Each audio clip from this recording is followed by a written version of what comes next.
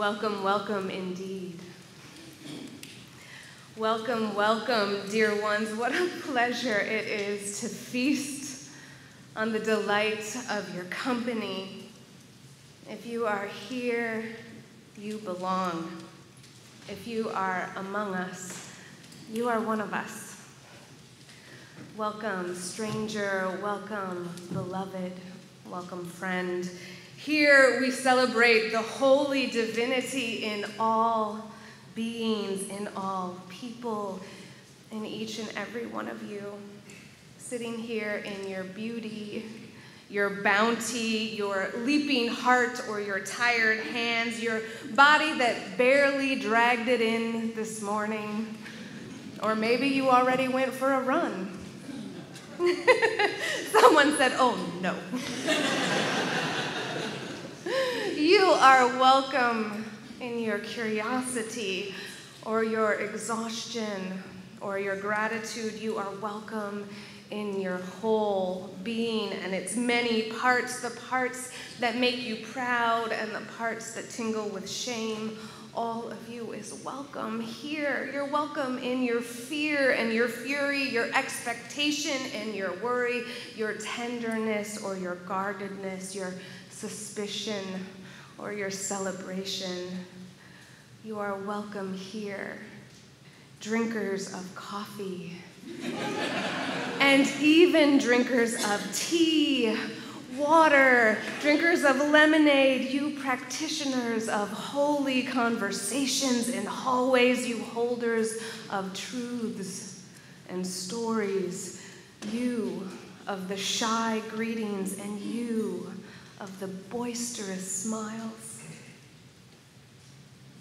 We are here now with one another. We are here for one another, to hold each other, to carry one another on, to laugh and delight in each other in times of joy and sorrow, nervous or excited, desperate or joy filled, doubtful or resolute, weak, need, or standing like an oak in all your variety and complexity and beauty. Welcome. Welcome, beloved. Welcome, dear one. Welcome in. Welcome home. Welcome here.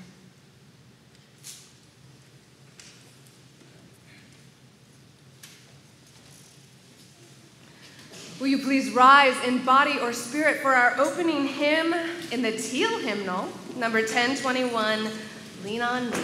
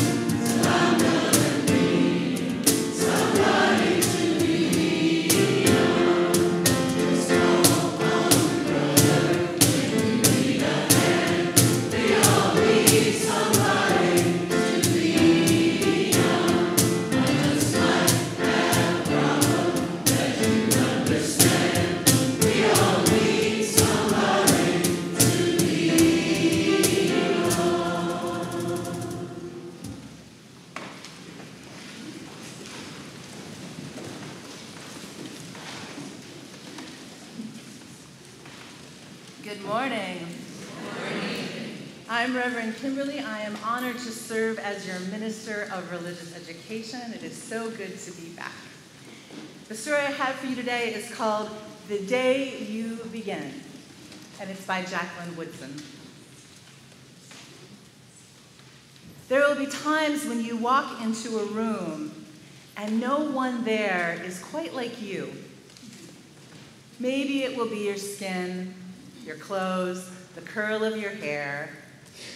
But there will be times when no one understands the way the world's words curl from your mouth, the beautiful language of a country you left behind.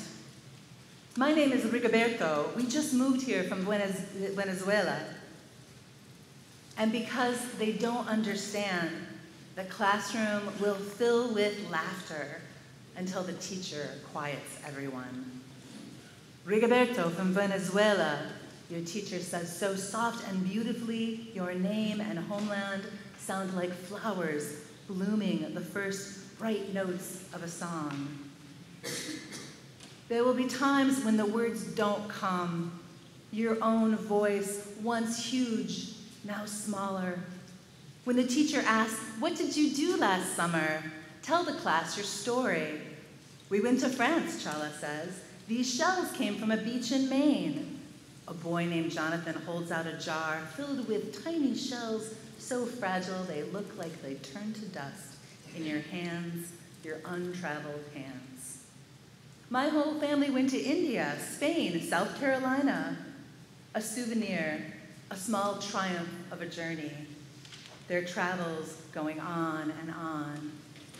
And as you stand there in front of that room, you can only remember how the heat waved as it lifted off the curb, and your days were spent at home, caring for your little sister, who made you laugh out loud and hugged you so hard at nap time.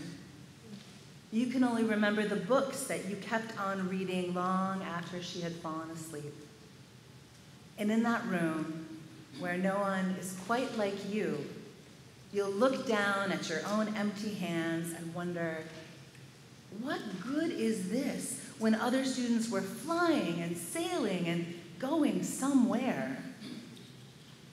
There will be times at lunch when the lunch your mother packed for you is too strange and unfamiliar for others to love the way you do.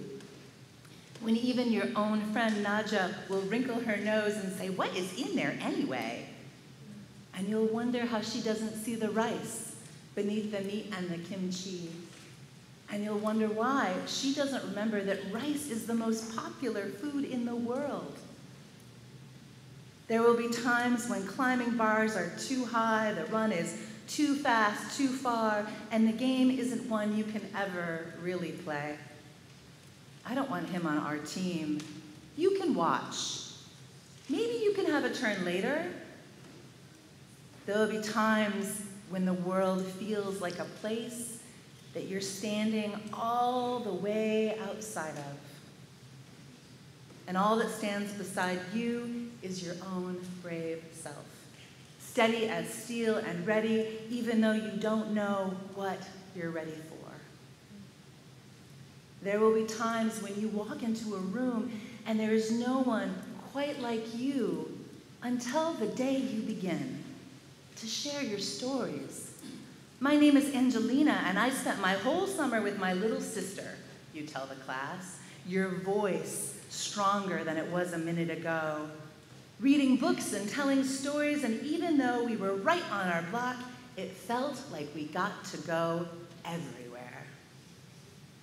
Your name is like my sister's, Rigoberto says. Her name is Angelina, too. And all at once, in the room, where no one was quite like you, the world opens itself up a little wonder to make some space for you. This is the day you begin. To find the places inside your laughter and your lunches and your books and your travels and your stories, where every new friend has something a little like you and something else so fabulously not like you at all. The end.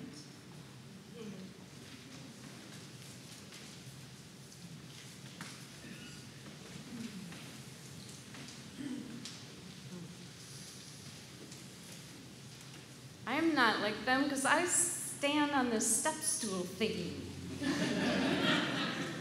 that you see me do every Sunday, right? But I still belong. Hello.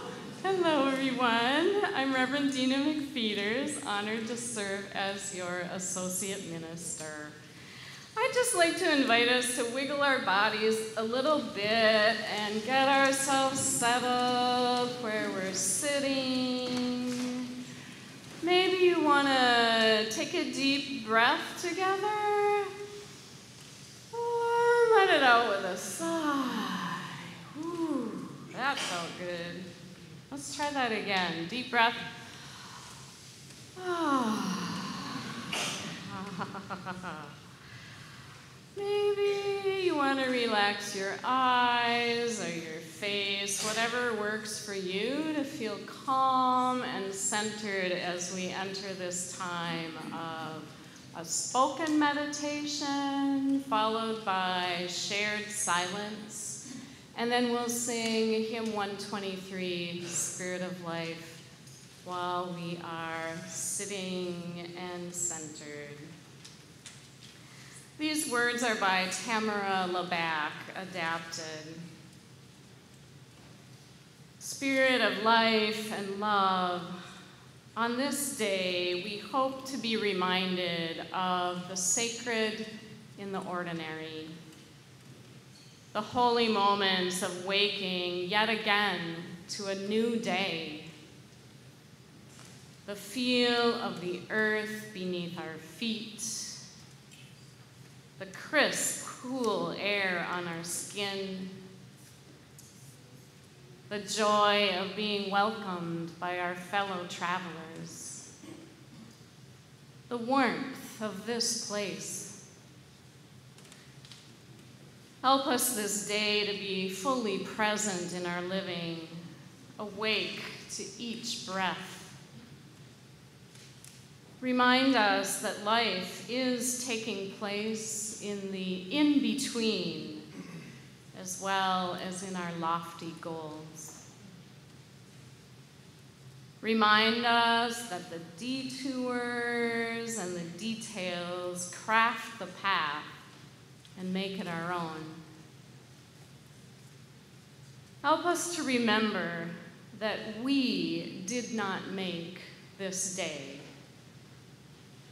but that we have the glorious pleasure to greet every moment as it unfolds, to reach out and kiss its cheek as though hmm, it were a welcome visitor who has come a long way just to see us. These and the prayers of our hearts we now lift up in the silence.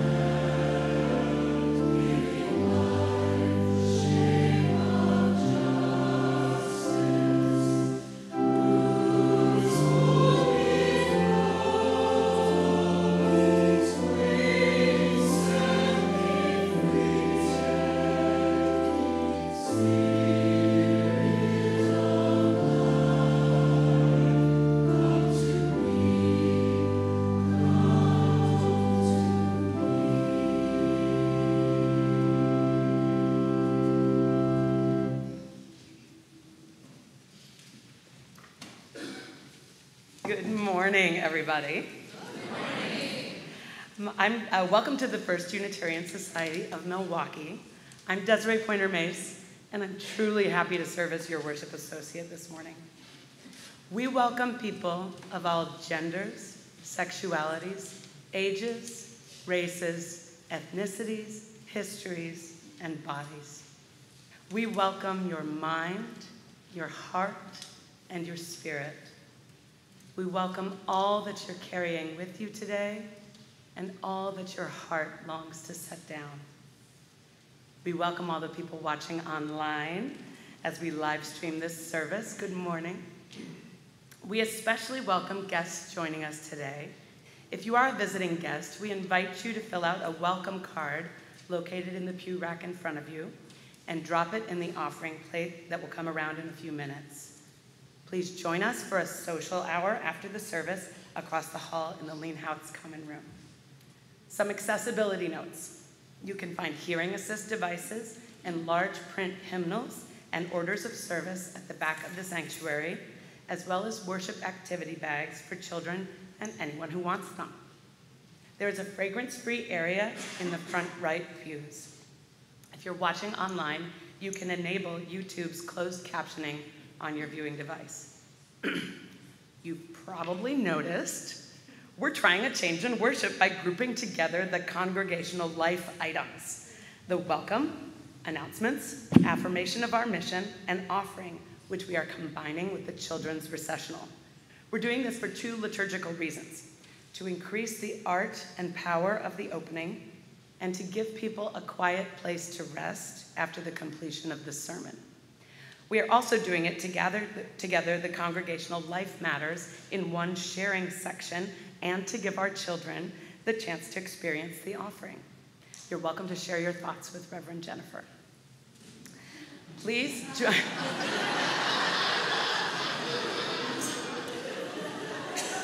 All kinds of thoughts are welcome. Celebratory thoughts. Please join us as we welcome Reverend Nontombi Naomi Tutu, human rights activist, Episcopal priest, and daughter of Nobel Peace Prize recipient Reverend Desmond Tutu, as our Mortar Lecture speaker on Saturday, September 23rd at 3 p.m. Q&A will be followed by a reception. Reverend Tutu will also preach on Sunday, September 24th. Find details on our website. Sign up to have a theme circle experience. Dip your toes in before taking the dive.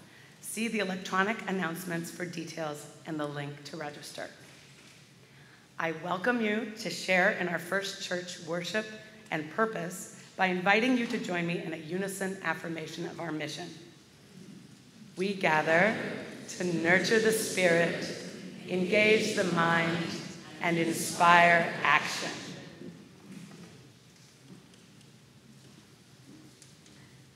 And with that, I'd like to bring up two new members of our staff this year Steve Syke, our new ministerial intern, and Caitlin. Uh, sorry, Caitlin Barron, the Baroness, please come up. Yes. Caitlin Barron, who is our new religious education assistant. Steve and Caitlin, will you introduce yourselves to the congregation? Good morning. My name is Steve Seek. I use he, him, his pronouns. And I want to share my gratitude uh, for your welcoming and your guidance in my ministerial formation. Thank you. Good morning, everyone. My name is Caitlin Barron, and my pronouns are she, her, hers. And one way that First Church has made me feel really welcome is just getting to know all of the amazing children, families, and volunteers in RE every Sunday. So thank you all for welcoming me.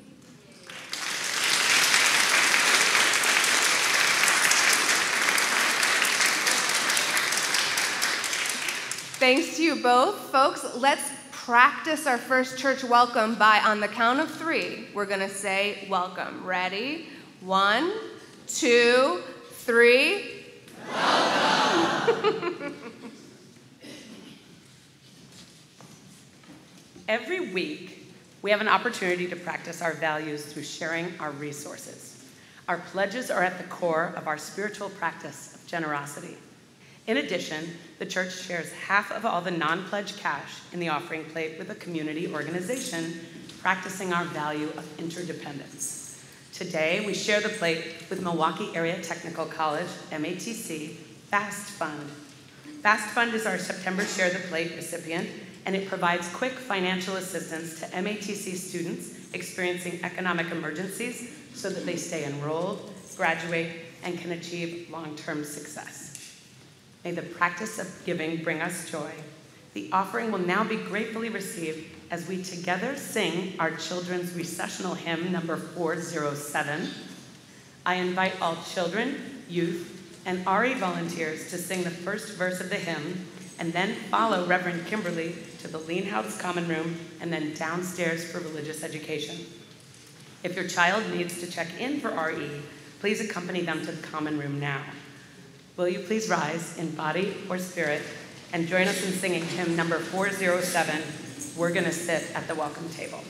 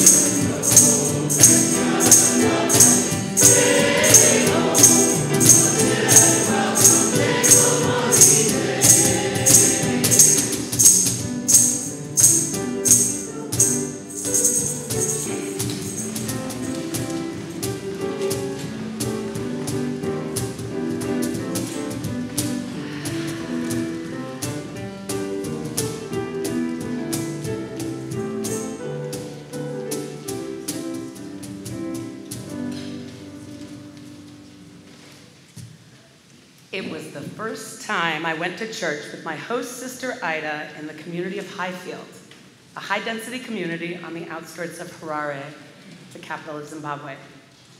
It was February of 1991. I was a junior in college, and as part of a study away program for the spring semester, I'd been accepted into a Southern African Studies program. The Umbofana family had, had welcomed me into their home. They fed me well, they taught me simple songs, they'd given me a Shona name, Sekai because of my big smile and loud laugh.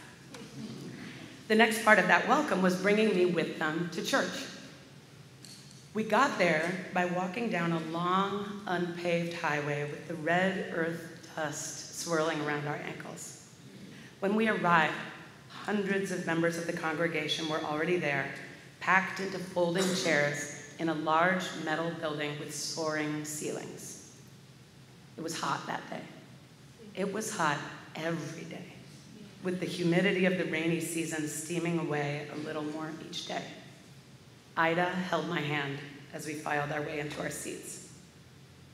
Now, many of you have met me here and know that music is one of my main joys in life. And the music in church that day was absolutely soul expanding.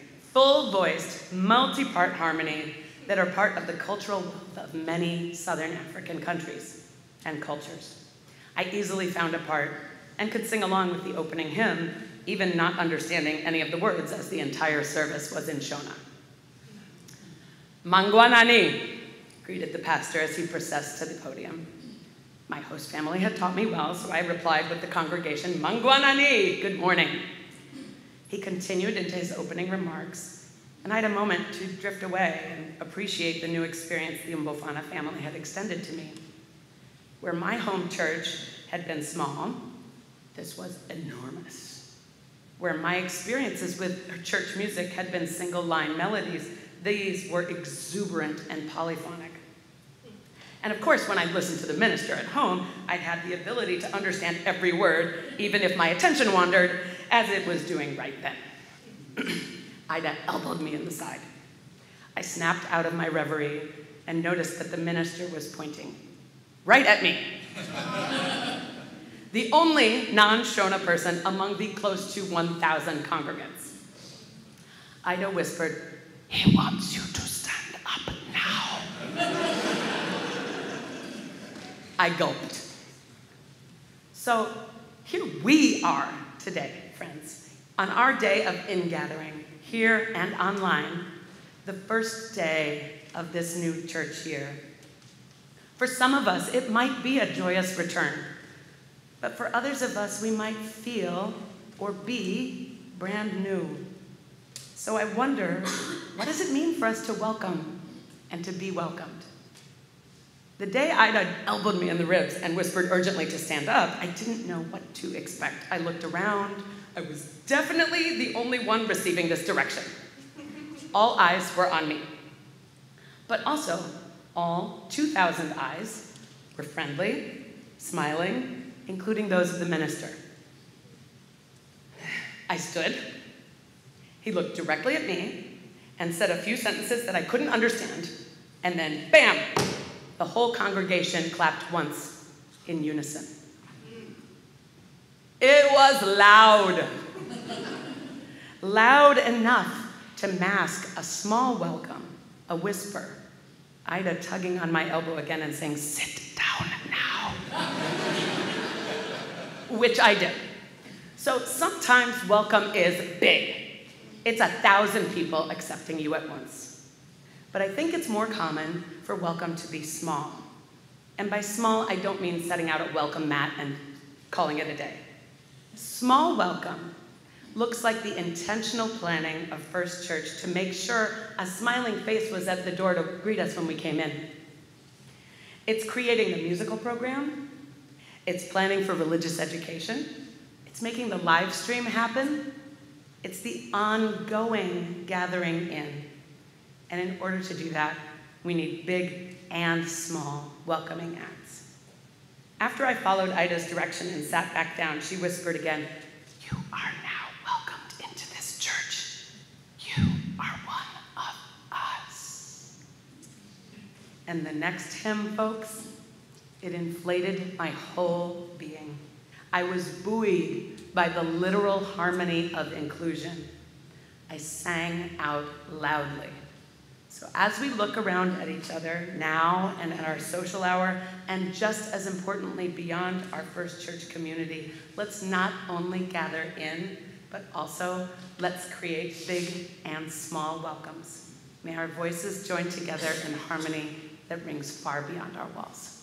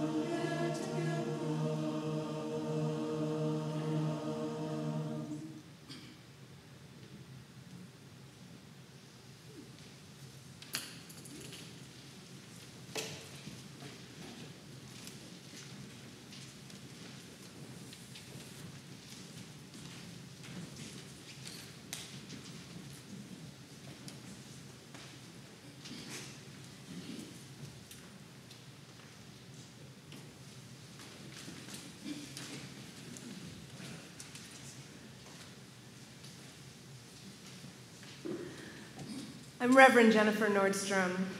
I'm so grateful to serve this congregation as your senior minister.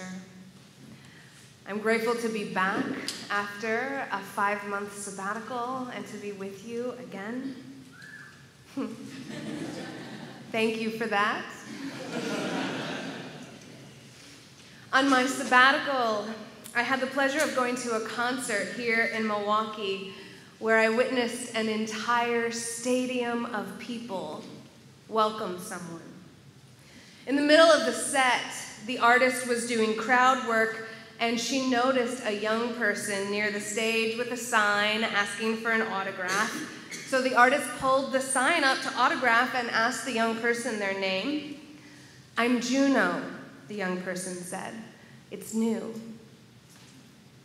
It's a new name? The artist asked. And the young person said, Yes, you're the first person I'm telling it to. I'm the first person to hear your new name, the artist asked over the microphone with 15,000 people listening in. And when the young person shakily nodded yes, the crowd erupted in screams and cheers and cries of welcome. Welcome, Juno, the artist said, and we shared our screaming, ecstatic welcome in the joy of an impromptu naming celebration. To be honest, folks, I was in tears, and so were many people around me. The roots of the word welcome trace back to the Old English will cumin, which means a person whose arrival is pleasing. True welcome connects with this earliest meaning joy. And while the joy of welcome certainly goes both ways, the roots of the word focus on the fact that giving welcome is pleasurable. Giving welcome is joyful. It is expressing our delight at someone's arrival. I felt that joy in that 15,000 person crowd, surprised by the delight of getting to welcome a person for the first time. Can you remember a time that you were greeted with that kind of joy where the pleasure of your arrival was felt in the air? Can you remember a time that you welcomed someone with that kind of joy when their arrival at your door caused your heart to leap and your spirit to delight in the joy of being alive? Together. That kind of joy is special. It makes the heart dance. It makes us remember the pleasure of being alive and being human. And here at church, we get to practice being human. We make a practice of the best parts of being human and alive together in this moment we practice welcome. Like Desiree said, sometimes it's small and sometimes it's huge, but every day we have the opportunity to practice, to pay attention to the parts of our hearts that leap and swoon at being seen, at being present, at recognizing and witnessing one another in this life.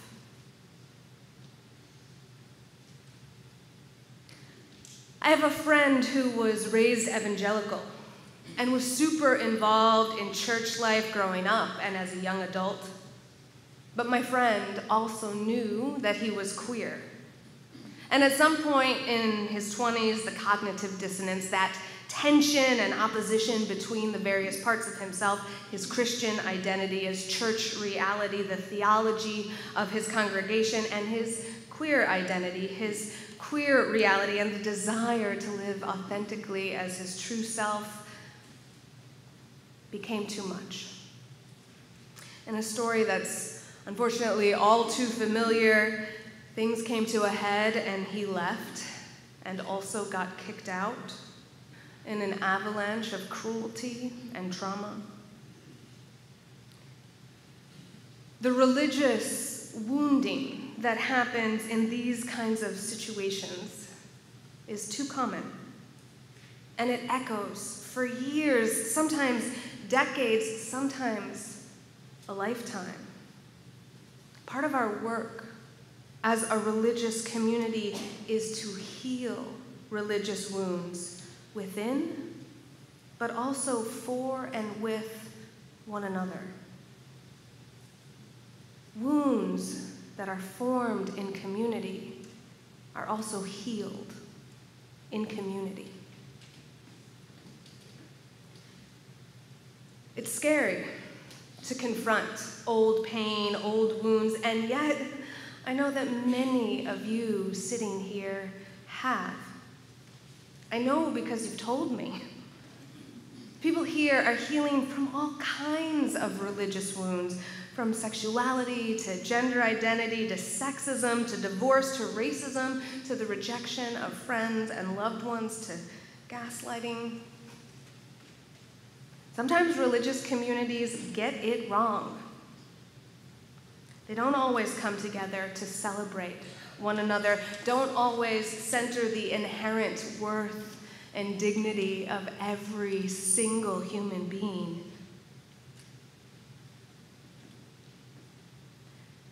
Since 2014, the University of Pennsylvania's Dr. Jer Clifton has been conducting research on core beliefs and how they shape our perception and experience of the world. According to Clifton, quote, we don't form perceptions based on what's objectively true of the world. Instead, our brains gives us bits and pieces. Our brains are figuring out as quickly as they can how those pieces fit together in a way that makes sense.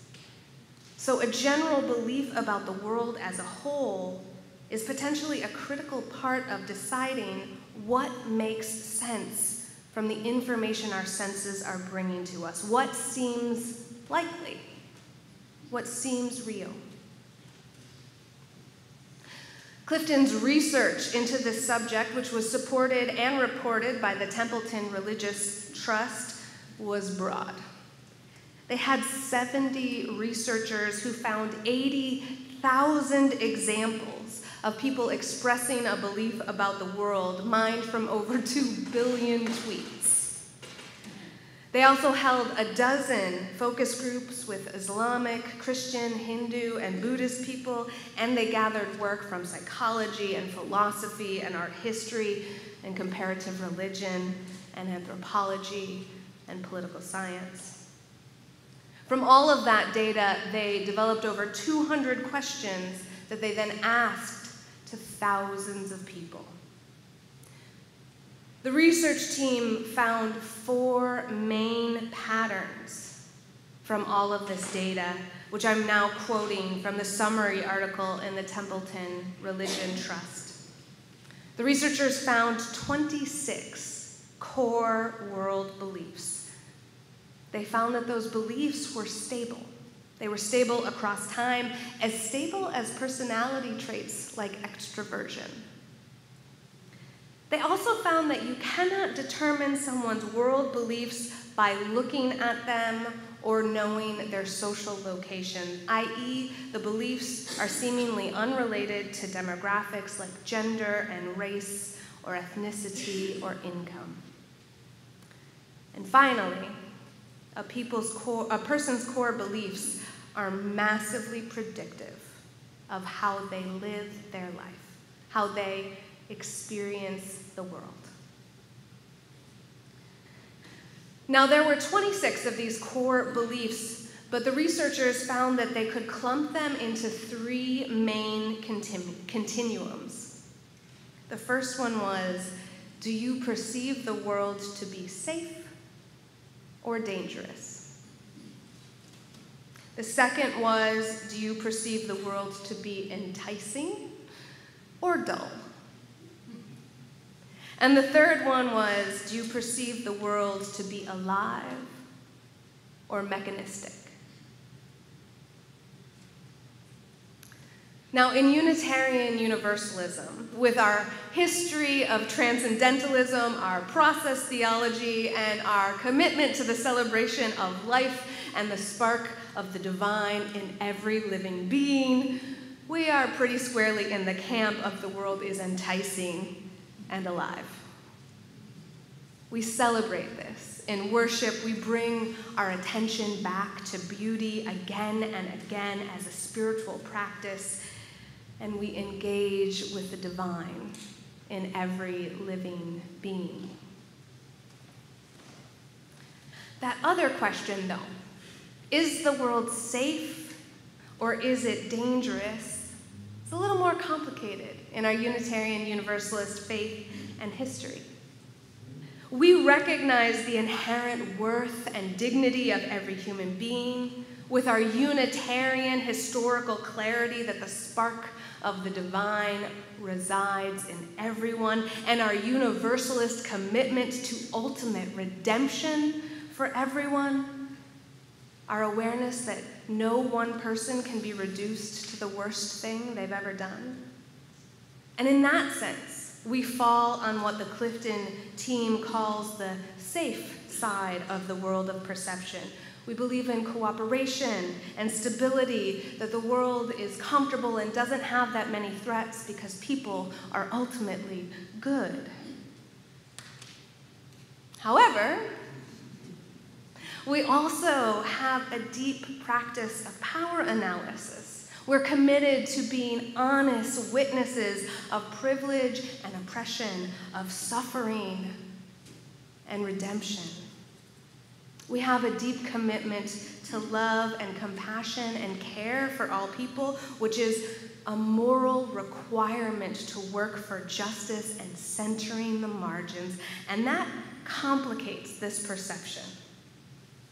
We're committed to being honest about oppression and cruelty. We show up as witnesses to suffering and workers to alleviate, alleviate it and change the conditions that create. So we don't believe that the world is just comfortable and easy. But we do believe that all people are born with the spark of divinity inside them and that healing is possible and that love is a powerful force in the world made ever more powerful by our collaboration with it. For us, the practice of welcome is about living these beliefs in our congregations and in our lives. Sharing in the delight of welcoming the stranger connects to our core belief that each person is moving through the world with the spark of the divine inside of them. Welcome allows us to partner with love in the project to heal the wounds of the world, especially the religious ones, and open up the possibility of belonging. When my raised evangelical friend decided he wanted to take a risk after years of staying away from religion, he tried a Unitarian Universalist church. It's scary. It's scary to walk back in the doors of an institution that healed and harmed you after years or maybe decades away. It takes courage to come back and invest in hope despite the mistakes that humans make. When my friend walked nervously up to the doors of a local Unitarian Universalist church, he was greeted by a smiling person who welcomed him in, handed him a program, and gave him a name tag. These simple gestures Things that a lot of us take for granted felt overwhelming in their love and their acceptance. My friend who presents as queer felt welcomed in with open arms and no reservations. He felt like his whole self was not just allowed at church, but was a delight at church.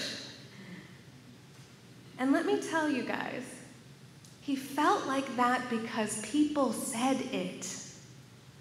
Someone said to him, I'm so glad you're here. Someone else talked about the program that day and whether or not he liked it and invited him to come back again. Another person invited him to come on in to coffee hour with them because he was a new person. My friend was in tears many times that day during the music, during certain parts of the liturgy that felt familiar. But the ability to access those tears and the feelings that were under them, feelings like relief and acceptance, and the opening to love and spirit and belonging, that was only possible because he felt welcome.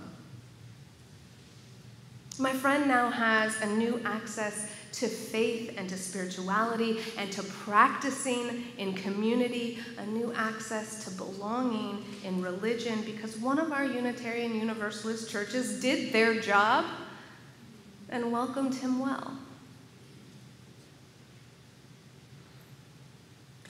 Welcoming people well is a practice. We can't just set out a welcome mat at the door and call it a day. Welcoming someone into church, like welcoming someone into your home, takes intentionality and preparation and commitment. The membership team will tell you all about how much they think about welcome and their work to enact it.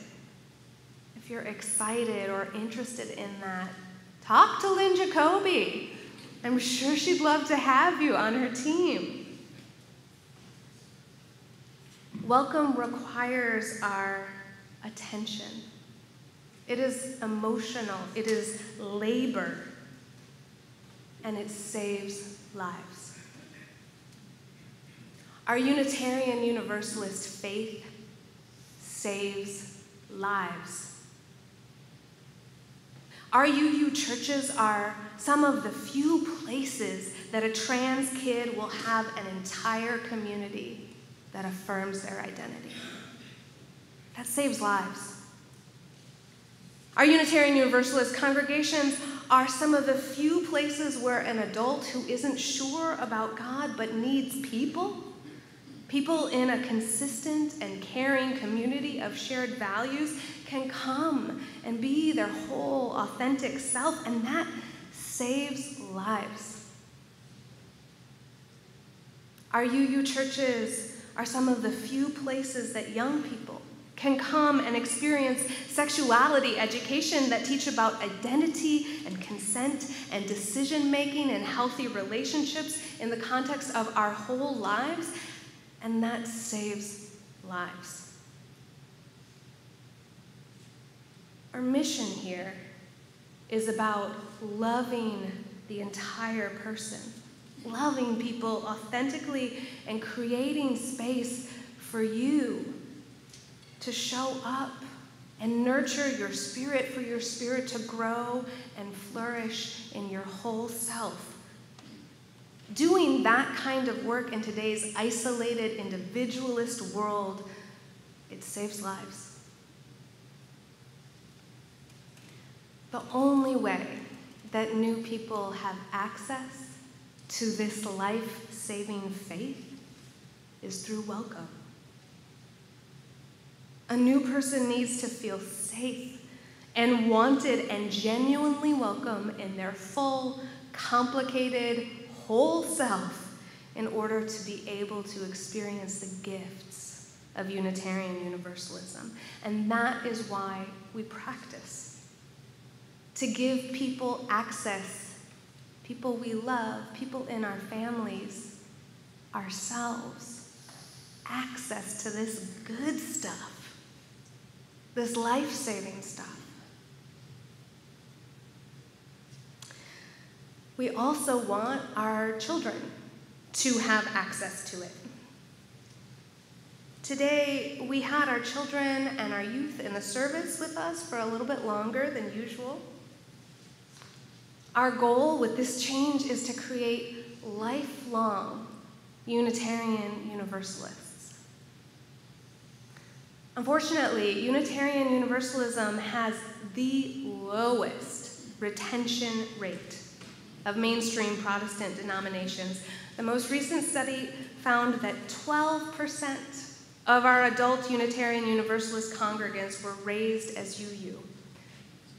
The average mainline Protestant retention rate is 52%.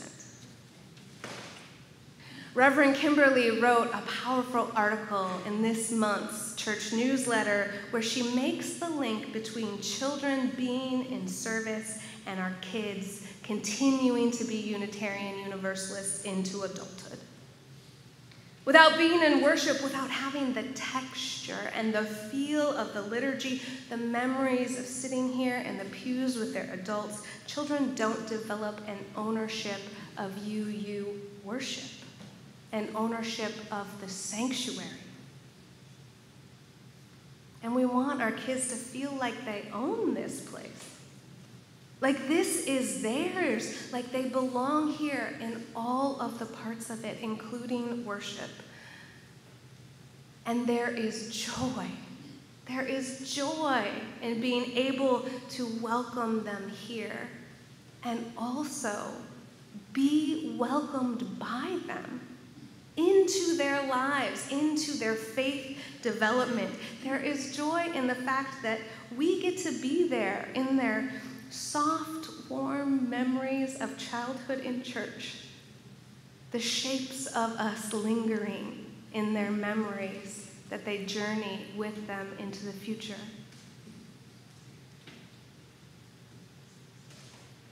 Welcome is a practice. It's not a mat we can put out and be done with it. It requires us to return again and again to our values, to the inherent worth and dignity of every human being, of all varieties of age and race and class and gender, all varieties of wiggliness and noisiness, all varieties of access needs and body shapes and ways of learning.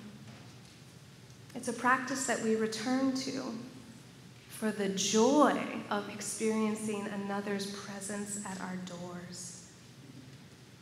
It's the joy and the pleasure of returning to greet one another's faces, the delight of getting to be human and alive and here together. We'll get it wrong sometimes. We'll forget. We'll be human and we'll get irritated and we'll put our preferences out in the front. And then we'll return again to practicing our values and recall the sheer delight of getting to be here now with one another.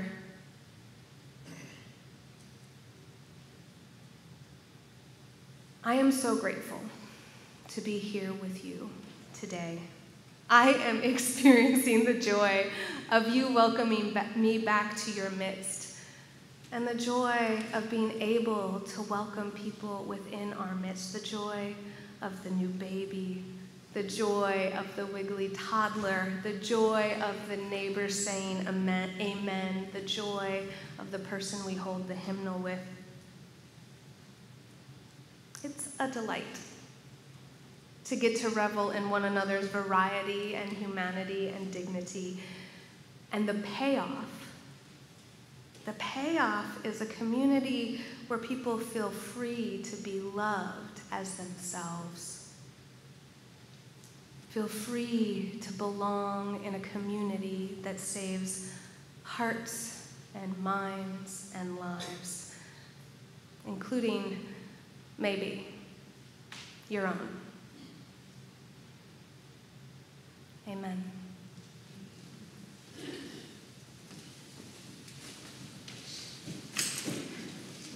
Mm-hmm.